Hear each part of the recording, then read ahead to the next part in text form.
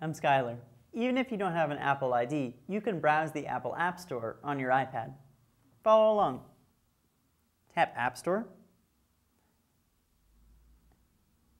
At the bottom, you see Featured, Top Charts, Genius, Purchased, and Updates. If I go to Featured, at the top we see all categories, games, education, and more.